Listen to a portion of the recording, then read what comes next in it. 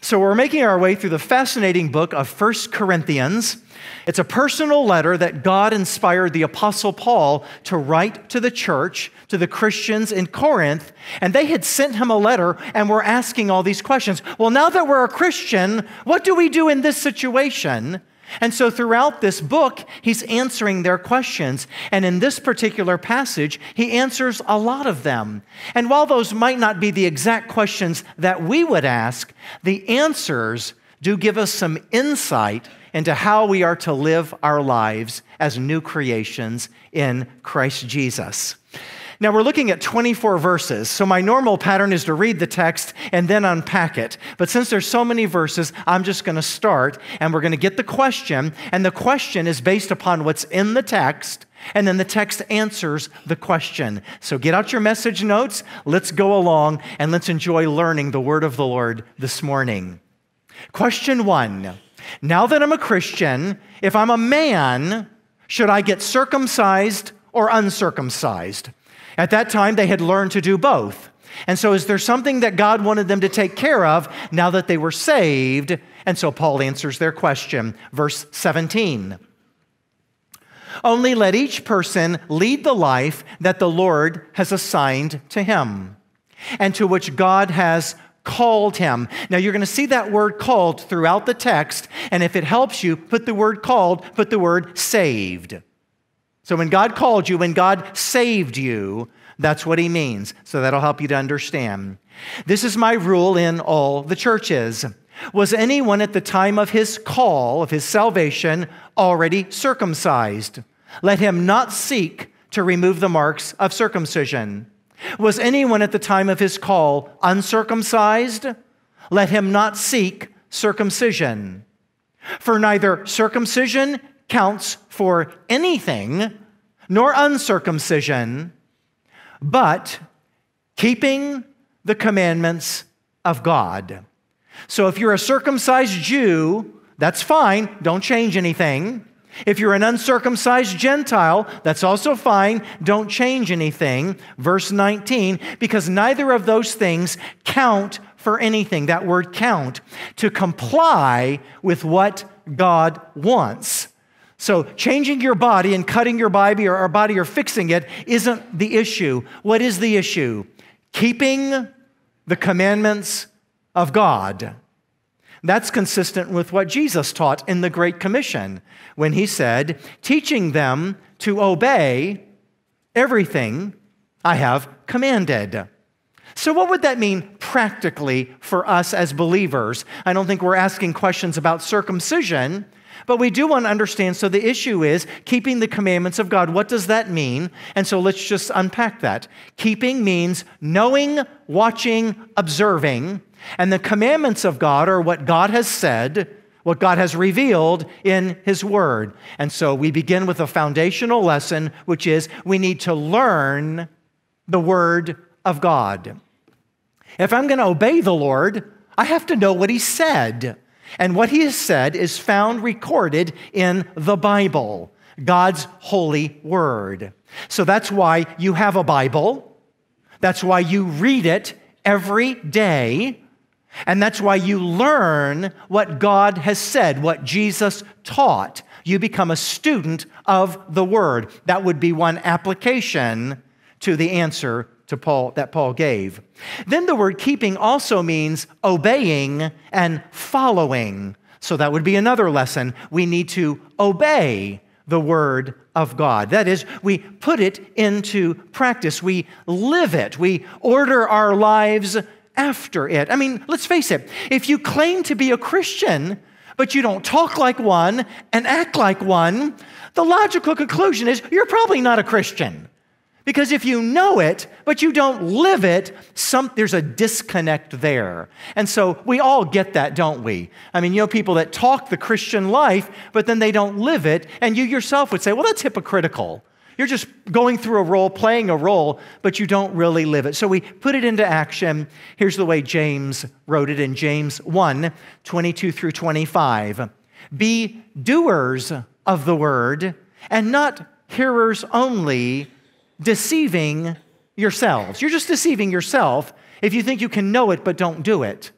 He says, For anyone is a hearer uh, of the word and not a doer, it's like a man who looks intently at his natural face in a mirror. He looks at himself and he goes away and at once forgets what he was like. So you're a Christian, you look into the Word of God, and it gives you glimpses of who you are in Christ as a new creation and how you're to live. And so you do that. But if you walk away and you forget it and you don't do it, the one who looks intently into the perfect law of liberty and perseveres, being no hearer who forgets, but a doer who acts, watch this, watch it, he will be blessed in his doing. And so the idea, it's not just enough to know it, we are to do it, to become like Christ. So, what counts, what complies with what God wants, is not altering your physical body, but it's letting the Word of God alter you so that you become a genuine Christian, a godly man, a virtuous woman by the words, the ways that you live your life. That's what counts. That's what complies with God. And that's the message that Paul was getting across Get it? Good. Question two Should a Christian bondservant leave his master? Now we know that, that we don't have that question today, but they did because many of them had become bondservants. So at that point, remember, all the questions don't apply to everyone. For example, that first question applied to men, but there was a larger application that applied to us all. Here, so if bond servants, they were like, okay, so I got saved. I mean, before I got saved, I was a slave to a master. I served my time. I was done, but then he treated me so well, I wanted to be his bond servant. So I entered back under his authority. He's my master. I'm his bondservant. We bound, we're bound for life. We agreed together in that commitment. But now I'm a Christian. God saved me. Jesus is now my master and Lord. So Am I done with my master? I mean, I know I made a commitment to him, but do I fulfill that? Or do I, can I just leave and walk away? And so that's what he's going to answer. Verse 21. Were you a bondservant when you were called? There's that word again, saved. Do not be concerned about it, meaning don't renege on your commitment to your master. Keep serving him. But if you can gain your freedom, avail yourself of the opportunity. So you're a bondservant. If you want to go to your master and make an appeal that you be released from that commitment, you can do that. And if he releases you, you go on your way, you're free. But if he doesn't release you from the commitment, you need to be a man of your word and you need to stay under your master's authority. He says in 22 For he who was called in the Lord as a bondservant is a freed man of the Lord. So even though you're someone's bondservant, you are free in the Lord. Likewise, he who was free when called is a bondservant of Christ. So the Lord set you free from the law of sin and death. You're now bound to him. He's a wonderful master. Verse 23 you were bought with a price. You were purchased, you were redeemed. So do not, now here's a directive do not become bondservants of men. So when you're a slave, you've got a master, and your time of service has completed, don't become his bondservant. Live as a free man in Christ. 24. So, brothers, in whatever condition each was called, saved, there let him remain with God. And so that's pretty clear. He answered their question. But there is uh, one point that I think is worth mentioning that applies to all of us, and that's this become a person whose word can be trusted. I mean, think about it. If God saves you, and then you go and renege on all the commitments that you've made, all the promises that you've made. Well, now that I'm a Christian, I don't keep my promises. Now that I'm a Christian, I'm not going to agree to that contract. I'm not going to fulfill the commitments that I agreed to do. I'm not going to follow the vow I made. Who's going to respect you as a Christian? So you, you get saved and now you're free just to renege on everything you committed before you were saved? That's not what he's teaching at all. We need to be people of our word. If we say we're going to do something, we need to do it. If we made a promise, we need to keep it. If we signed a contract, we need to fulfill it. Uh, one of the illustrations that we have is with Onesimus. And Onesimus uh, was a slave. He wasn't a bondservant, but he was a slave of Philemon, who was a believer. And, uh, and he wanted his freedom, uh, but he didn't wait until his time of service was over, so he just ran away. And he ends up in Rome. He hears the gospel of Jesus Christ, and God saves him. And so then Paul counsels him okay, now that you're saved, you need to go back to your master Philemon and fulfill the obligation that you agreed to do. And so the book of Philemon is Paul's letter to the Christian Philemon saying, hey, uh, receive Onesimus as a brother in Christ. I can't tell you how to treat him. Maybe you need to discipline for running away, but the reality is he's a brother in Christ, so receive him. And that's the letter that he sends to Philemon. Uh, but uh, it's interesting that Onesimus was sent back to fulfill the commitment that he owed. Paul wrote, Put off falsehood and speak truthfully to your neighbor. And so, you and I, as Christians, we become people of our word. We can be trusted. What we say we will do, we will do. Question three Now that I'm a Christian, should I divorce my unbelieving spouse? So, let's say I was a man, I got saved, but I'm married to a woman and she didn't get saved. She doesn't embrace Christ as Lord and Savior. So, since I'm saved, she's not, should I divorce her and send her away? That's the question he's going to answer. 25. Now, concerning the betrothed. Now, since we don't use that word, I gave you what it meant there in parentheses to an unmarried person. I have no command from the Lord, meaning nothing recorded in Scripture yet speaks specifically to this issue. He says, but 25, I give my judgments as one who, by the Lord's mercy, is trustworthy I think that in view of the present distress, I gave you that definition of distress, pressure from external circumstances, it's good for a person to remain as he is. Are you bound, that word means knit, married to a wife, then don't seek to be free. So the answer is clear no. You do not divorce an unbelieving spouse. If they are willing to remain married to you, you remain married to them. Why would that be? Well, we, we talked about that last week. Look at verse 16. How do you know, wife, whether you will save your husband? How do you know, husband, whether you will save your wife?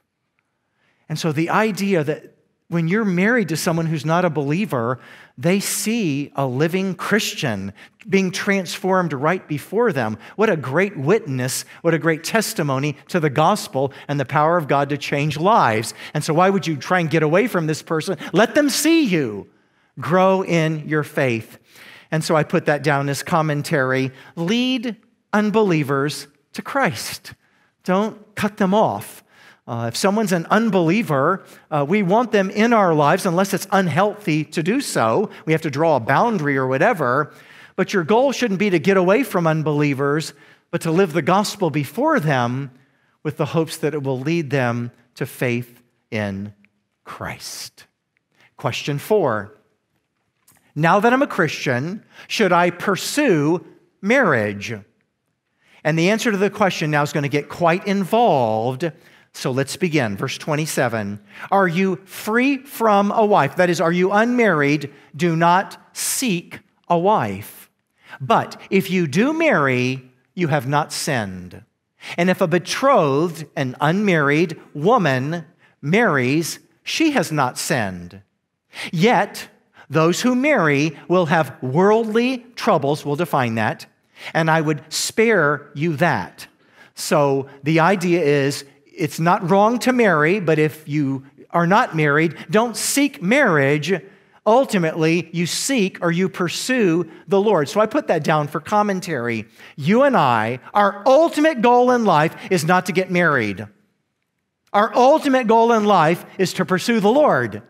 That becomes paramount above everything else, and that's what he's teaching. You seek the Lord. If God guides you to a mate and marriage, enjoy marriage. If God gives you grace to remain single, be content with that. And then Paul gives uh, the reason why he says, do not seek a wife, do not pursue that, because when you get married, you will have worldly troubles. Worldly is the word for flesh of this world, and troubles is the word pressures, stress, burdens, anguish. Paul is not discounting the value and beauty and sanctity of marriage and family. But he is acknowledging that when you get married and you unite your life with another, life can get more dynamic. There can be more things that are involved in life, and those things can distract you and even burden you from the ministry. You have to remember, Paul's passion is ministry in the kingdom, serving the Lord. And whatever you can do to stay focused on that, that should be the highest priority in your life. And so put that down. Pursue serving the Lord. I mean, you, you can't read this whole text. If you read it over and over again, as many of your teachers did this morning as they were preparing the lesson, you notice Paul's priority and passion for serving the Lord. Now, he was gifted to forego marriage and sexuality so he could give himself fully to serving the Lord. And so, but he gives that counsel uh, with that in mind that you pursue the Lord and he will give you grace uh, to do whatever he's called you to do. Um, it's interesting. Um, so, uh, Shirley started getting all our taxes together last week, all our information. And it was just a reminder do you realize how complicated it is to live in this wonderful land? I mean, it's just daunting, all the things to keep track of. Uh, we've been watching a couple of uh, shows, mindless, whatever, and it talks about um, um, being minimalist and living simply. And I've just been kind of processing that through. You know, in our generation, if you're older like I am, and you know, you were, uh, you when you have a house, you put a picture on every wall, and you put a plant in every corner, and your life is full. Your house is full of stuff. And now it's like minimalism. You go in, and the style is very clean, very simple, hardly anything on the walls, hardly anything on the tables, not much furniture, very simple. And I'll tell you, I look at that and I think, well, first of all, that's weird because I'm not, I'm used to kind of seeing everything decorated up. But I think, wow, that must be so simple to take care of. And I think of how complicated it is to take care of our house, and I went, Okay, there is a benefit to living simply. And I think that's the heart of what Paul is trying to say. Listen, um, try and live as simply, you know, he who dies with the most toys wins. No, he who dies with the most toys dies exhausted because it just, it's so much to take care of you know, when Shirley was going through her dream phase, and my wife's the dreamer in our relationship. I'm a real practical, just tell me how to get it. I want to get it done. She's the dreamer and has all kinds of ideas, and I've learned let her dream. It doesn't mean I have to figure out how to do it. And if I start figuring out how to do it, it upsets her. No, no, I'm just dreaming. Oh, yeah, that means shut up. Okay, listen, and just affirm, oh, eh, you know, and um, we're gonna, well, let's get an RV when you tr- retire, and let's travel the world. And I said, honey, I don't want one more thing to take care of. I don't even want to mow my lawn. You know, I, I, want, I just want less and less to take care of. I simplify, clean out. I just, I, a simple life is become very desirable for us. And, um, and so I think that's a little bit of what Paul is tapping into. Just be careful getting so caught up with so much things that you have to take care of that you don't notice your neighbor across the street that needs the Lord, or ministry opportunities that are before you because you're consumed taking care of so many things. And that application has to work in each of our own hearts. I won't tell you how to live your life. Don't worry. 29. This is what I mean, brothers. The appointed time has grown very short. Short. The appointed time is a reference to the second coming of Christ, something that Jesus continually referred to. And so I put that down as one of our lessons. We're to live as if the Lord could return at every moment, at any moment. I mean, he could return today. Would that be okay? I mean, if the trumpet sounded and Jesus came back, would that be okay? I think it would. And, uh, and so it's the idea of being careful with commitments you make, things you pursue, and getting so involved that you forget the reality is that the Lord could come back at any moment. And when He does, everything changes. He comes back to rule all the things you're having. Done. Done. This life is over. And uh, really, only what's done for Christ lasts. Uh, we learned last week even marriage and sexuality is not eternal, it's not in heaven. And so we make the most and we treasure the gifts that God gives us, but we don't become so consumed with them that we forget to serve the Lord and fulfill the ministries that He's given us. Uh, look down at 39. For this present form, the present form of this world is passing away. So things are passing away, and we need to accept that. What Paul's going to do next is give a litany of statements that basically reinforces what I just said, but he says it in a way that I would never say it. I mean, I've read it several times and I just went, I don't think I would say it that way. But I wasn't his audience. He was writing to his audience, and they understood in the context what he was saying. And so he was basically saying, live simply, live carefully in such a way that you're not so entrenched with the things of this world that you can't have a mind always focused on the kingdom and the ministries that God has given you. That, that's a good caution. I, I, I, buy that. 29, from now on, let those who have wives live as though they had none. Let those who mourn as though they were not mourning. Those who rejoice as though they were not rejoicing. Those who buy as though they had no goods. Those who deal with the world as though they had no dealings with it. So the message is clear. Don't become so encumbered that you don't anticipate the Lord's return and fulfill the ministries that He's given you. Next, Paul's going to explain why he encourages people to remain single, and he's just building his case. Uh, verse 20, uh, 32 I want you to be free from anxieties. Now, when I read that word anxiety, I thought, is that, is that sinful? But the, the Greek word there, and I think I put it in parentheses, isn't sinful. It depends on the context. It just means you have careful thought of. Okay, so he's not talking about a sinful action here. He says, The unmarried man is anxious, he takes careful thought about the things of the Lord, how to please the Lord. But the married man is anxious about worldly things, how to please his wife, and his interests are divided. And the unmarried or betrothed woman is anxious about the things of the Lord, how to be holy in body and spirit. But the married woman is anxious about worldly things, how to please her husband. Verse 35 is the key. If you don't remember anything, just remember 35, circle it, underline it, yellow highlight it. It really, I think, is the essence of what Paul is saying. I say this for your own benefit, not to lay any restraint on you. He's not putting us under the law, trying to give us directives about how to live our lives, but to promote good order, just a sense of orderliness about your life as opposed to being chaos and out of control, and to secure your undivided devotion to the Lord. That's what he's saying. And so, if you get that message, I think you'll get the essence of this. Uh, as I read that, I went, okay, so that's really what he's teaching. It's just stay undividedly devoted to the Lord. That's a good word for us all. Uh, the lesson, um, I believe, needs to be put down. Singleness has advantages in ministry. So be careful exalting marriage and dismissing singlehood. We, we honor both depending on how people have been called, which then leads to question number five. So, as a parent, should I require my children to get married? Now, the reason he's saying that is because arranged marriages were very common in that day. And so they're saying, okay, well, I'm saved now. Do we, do we still do the arranged marriage things like they did in my other religion? Or do I arrange a marriage for my child? Or do I require my child to remain single? What do I do here? He gives the answer 36.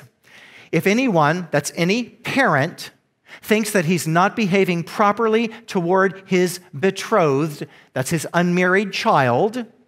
It, that is, your child's passions are strong. It has to be let him do as he wishes, let them marry. It's no sin. So you're watching your child. You're not just parenting every child the same, every child's different. So as a parent, you study your children. And you learn what they need, you learn their unique bents and callings from God, and you direct them in that way. That's kind of what he's saying, what we as Christian parents do. So we direct them in the way we believe. So I'm not going to arrange a marriage when they're young because I don't really know what my child wants yet. I don't really know what God might be calling him to do. So he's basically saying, don't arrange a marriage, watch your child and then direct your child either toward marriage or toward singlehood, depending on how God has gifted him. That's what he's saying. Let me read it. Uh, let me finish reading. 37. Whoever is firmly established in his heart, being under no necessity, but having his desire under control, and has determined this in his heart to keep her as his betrothed, he will do well. So keep your child if they don't feel called to marriage and then keep their desires under control. So then he who marries his betrothed gives his child in marriage does well, but notice he who refrains from marriage will do even better. Interesting. So again, he's giving this um, support for singlehood. So, anyone's the father or mother, betrothed is of marrying age. You discern what your child needs and you direct them accordingly. And I think there's an underlying principle that's good for us all. You learn to discern the needs of others, starting with your mate, your children, whatever God has called you to do. There is this sense of just being sensitive and discerning to what is best, God's best for a child, for a person, and direct them accordingly. That's how we as Christians live. There is this wisdom and discernment that God imparts along the journey, and we learn to appreciate that. Question number six Now that I'm a Christian, what about divorce? Okay, that takes a book to answer, and I'm going to take 30 seconds and we're going to move on. Okay, that's a whole nother message. But 39, a wife is bound to her husband as long as he lives. So the idea that divorce should not be pursued unless the situation is dire. And Jesus does give those directives. And uh, you, if you're going to develop a systematic theology about divorce and remarriage, you look at all the passages, not just this one. There are many that help to form what we as Christians believe. Question seven As a Christian, what about widows? What, what if your mate dies? And what about remarriage? And so he says, But if her husband dies, she's free to be married to whom she wishes, only in the Lord. Really? Well, there's another passage. A widow is free to marry a Christian. And then interesting, he would give that directive. So if you become a Christian, you should not be marrying a non Christian.